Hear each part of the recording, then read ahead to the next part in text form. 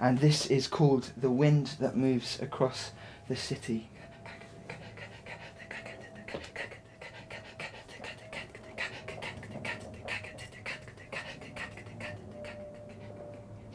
A kid tap dances on the streets of London, each tap of the soles of his shoes clapping. He dances because he was born with a restlessness in his legs, and when he moves them, all the colours come together. He dances outside because rooms are too small, takes to street corners where the winds are his walls. They howl and they whoop through the rhythms he falls through. Ah,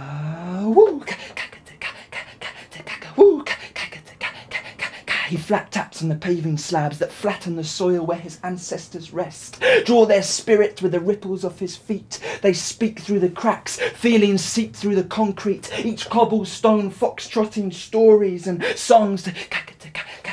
Yeah, yeah.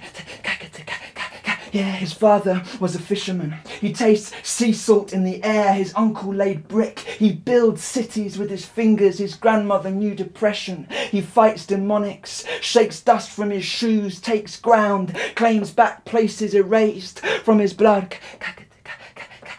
Blood. His mother would always say to him, The greatest antidote to fear is laughter. Keep moving, baby. Keep alive. Never let them steal you. He laughs in the face of cynics, keeps the city alive with grins and giggles. Keep moving, yeah, yeah.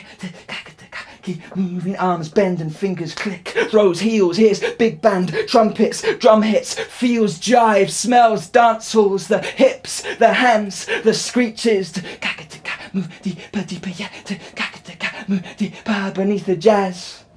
He tastes blues and slow moving lullabies like his grandmother used to rock him to sleep. Further still, he hears the sound of spirituals, of African hands clap foreign soil. Hears the thwack of tools, of picks and sickles, of iron and steel beat the saddest songs.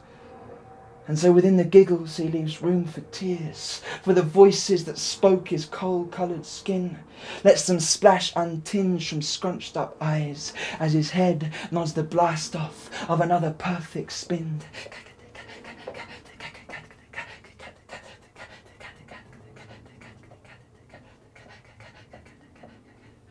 A hooded girl looks on, eyes wired and bouncing her head. She clutches notepad in hand, taps a pen to her hip.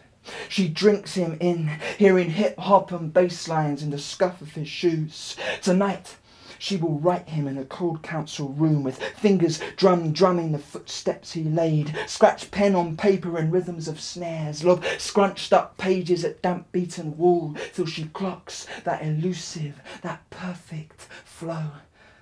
In time, she will recite him in bars, in theatres, to reaching crowds and bouncing heads. But for now, she memorizes, locks him inside her, folds her paper to the shape of a plane, opens her window, and throws it headlong into the wind that moves across the city.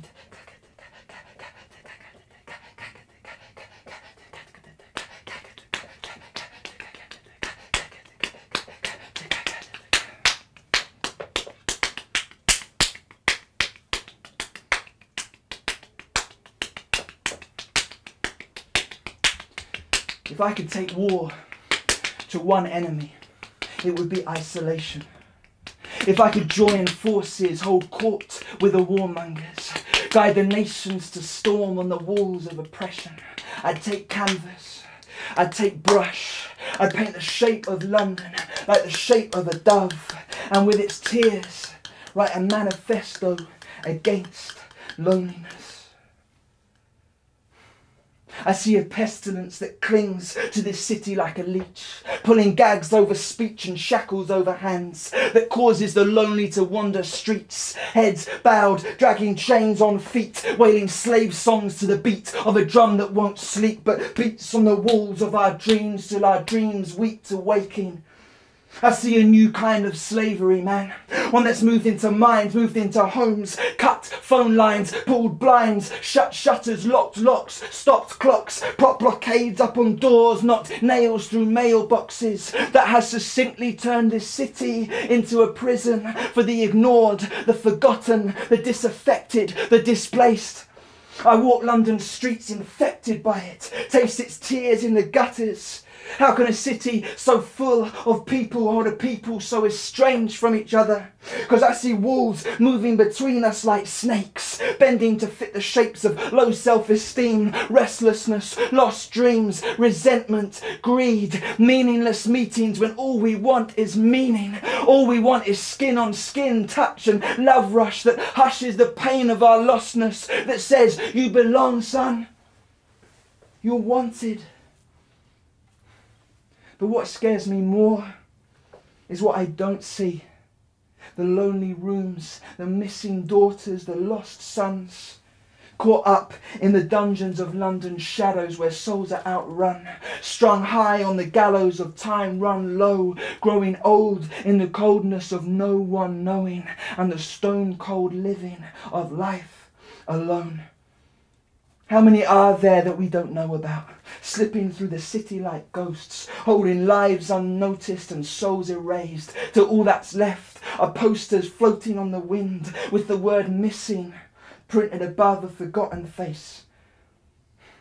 So here's my declaration my war cry signed with the blood of lost hearts. Here's my cry for the emancipation of my people to rise up, to drive the forces of isolation from our mindsets, from our children, from our homes, from the borders that close round the throat of hope. Here's my cry to the spirit of belonging, to weep spring rain on the wings of this city to wet the wells of union, kiss the springs of touch, let embrace rise again like an angel awakened from the dust of our longings.